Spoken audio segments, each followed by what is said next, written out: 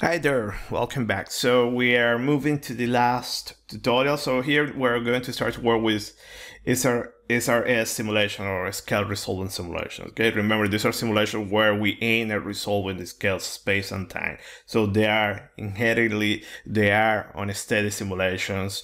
Okay, and they are very time consuming. They are very expensive, but just due to the fact they are unsteady. But all the theory that we have seen so far, everything applies. Okay, it's exactly the same. We have that uh, that good uh, theoretical background, so we will be able to address this this this kind of simulations okay so now that we have that time dimension it's very important to do things efficiently okay not to waste a lot of time use good initialization. It's also very important in this kind of simulations.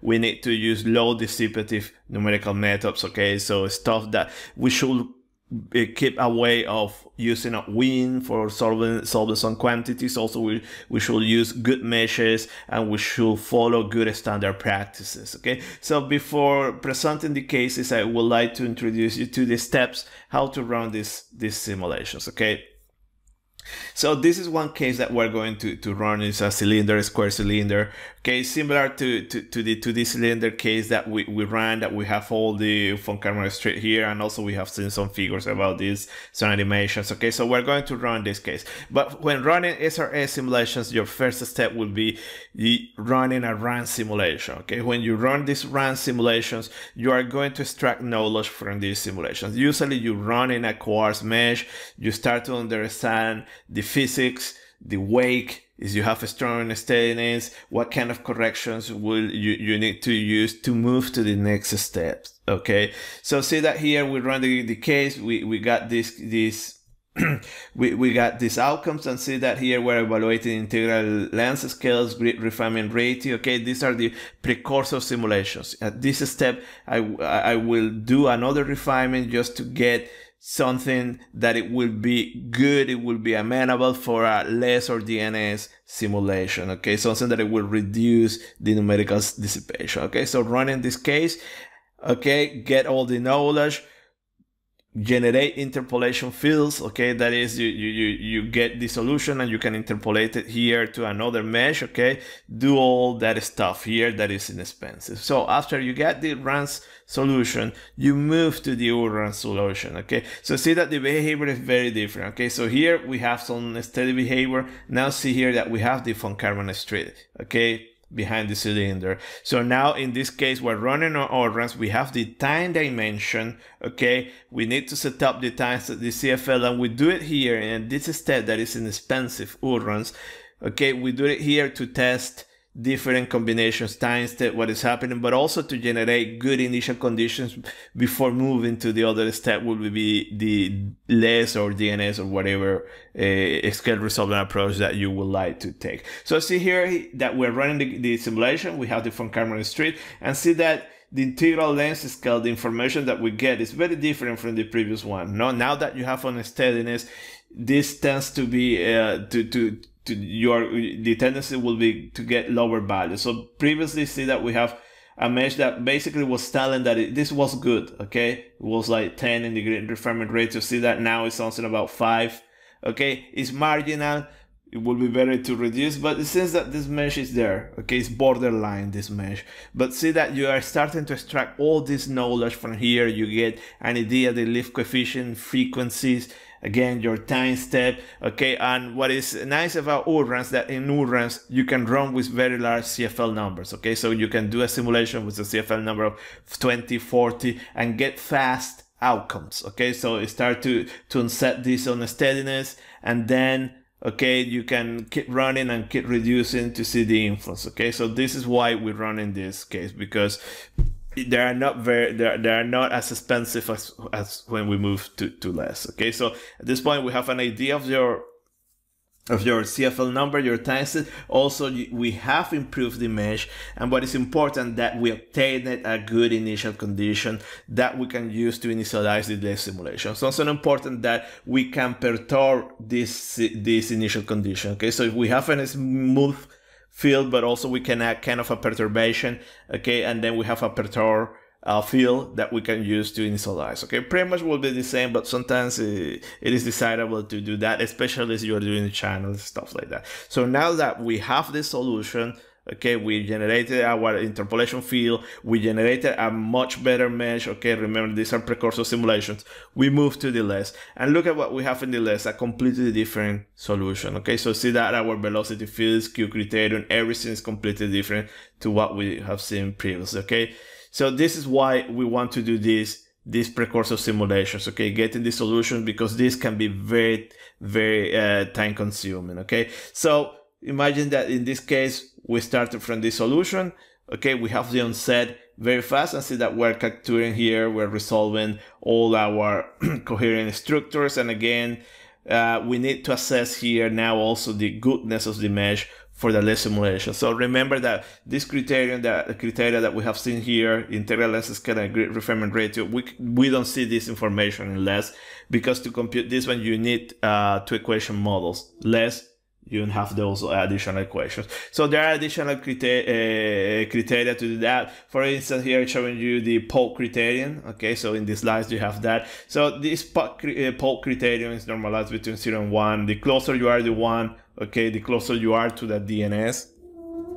And usually here you should aim for a 0.8 and see that in the wake is kind of there we're there okay it, maybe we will need to to to refine a little bit more but see that by starting using this precursor simulation, we generated a good mesh, okay? And now we're not wasting time here. Just running something is useless and then you need to redo it, okay? So we have a rather good mesh. Then also we can plot the resolved kinetic energy, okay? we have this information that you can compute it for, from your instantaneous field. Remember that in LES equation, there is the model part, and that is some models, very difficult to estimate that, that part. So sometimes I like to use models that compute K, uh, the kinetic energy, one equation model, but it's up to you, okay? But sometimes getting getting the model part is quite tricky, okay? So the Pope criterion is a good indication to know the percentage, okay, that you are resolving of your simulation, okay? As I mentioned, you should aim for 0.8. There are some criteria, uh, criteria uh, around. It's up to you to pick up one, but this one it works well. So then also remember, it's not about these colors. You need to do a lot of signal processing when it comes to this kind of simulation LES than DNS. So this is a classical plot, okay, and we have seen this at the beginning of the lectures, this Kolmogorov, uh, this law here that we have, and this spectrum following you know, this constant energy transfer and then dissipation. So basically to do this plus what you do is that you put many probes in the wake or where you're expecting to have those coherent structures. And then here you gather the information can be velocity fluctuation, pressure fluctuation, whatever. Usually we use here uh, kinetic energy can be the three components of velocity or just one, okay? It's like when we talk about one dimensional, three dimensional uh, profile. It's up to you. Even you can use pressure. All that information, those fluctuations are carry carry are carry out in the same way. So see that you gather the information, you put this plot, and see that this plot here corresponds. Is will recall to the search probe here, and this plot here corresponds also the search from the last one will be this one and see that there is a difference in this spectrum so see that here kind of we're resolving well the turbulence, okay, there is not too much dissipation. We're following, we know that those experimental results that we know that this slope should follow this minus Pfizer law. And here see that we're dissipating too much, okay, too much to circulating energy. And we're far from here and recalling your me the mesh that the mesh is rather quartz here. So the problem here is now is the mesh, okay, it's too quartz there and it's dissipating too much. Okay, so that might influence your results, okay, but in this case, let's say that we don't worry because we're far from, from, from the body, but see that clearly here you see the influence of the mesh.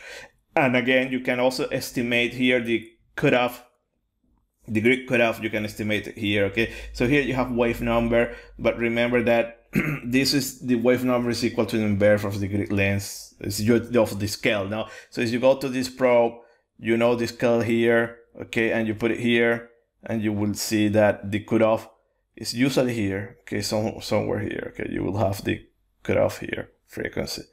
Okay, when you see that you have the change here in this loop, okay. So the wave number is equal to pi over L. L will be the, the grid filter, okay. So you, you can get that one and you can plot it here. Okay, you know L here, and then you can plot this vertical line there. So this is the idea of this post-processing, okay? And this is very important on setting the case you have to be careful to put all these probes, okay? Because if you don't put these probes, you don't have this information. And it is, and it is an incredible waste of time if you don't do that, okay? Because then you need to keep running the case to gather more statistics, okay? Very important, remember. Okay, it's not getting this color, this stuff. You need to put a lot of probes and compute a lot of statistics, statistics integral quantities. And then we move now another integral quantity. We have CD, CL. Okay, this should be CL here. And we have the signal and see the difference between delays and, and URAN signals. There's a difference, okay? So in the delays, we're resolving better, more scales. We're adding less numerical dissipation. And see that for from this time series also we can do some additional uh, post-processing, okay? So see that at, at this point, see that we can compute dominant frequencies from this, okay? And you can see, you can then compute your uh, number or that kind of stuff, okay? So this is how you run scale resolver simulations, okay? So it's not only setting boundary conditions, it's also very important setting all these statistics, okay? So before running SR, SRS simulation, remember to follow these steps. It's always strongly advised to start from precursor simulations. Okay, so you don't waste a lot of time you know, doing trial and error, and error, getting good measures because here, okay, SRS is about resolving the scales using good measures that usually are large measures and small time steps and computing a lot of statistics. Okay, so that's all that this was this introduction to these steps. Then in the next videos, I will just introduce you to, to two cases that uh, you have probably seen in literature, okay, they are very expensive, but we're using quartz meshes just to show you, you know, these concepts and setting all these monitors. Okay, thank you very much for your attention and see you next video. Bye.